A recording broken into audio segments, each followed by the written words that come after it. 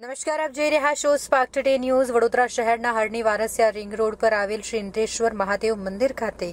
આજે ભક્તોનું ઘોડાપુર જોવા મળ્યું શ્રાવણ માસનો પહેલો દિવસ અને એ પણ મહાદેવને અત્ય પ્રિય એવો સોમવાર હોય એટલે મહાદેવના ભક્તો મહાદેવના દર્શન કરવા માટે જતા હોય છે ટીવામાં વાત કરી છે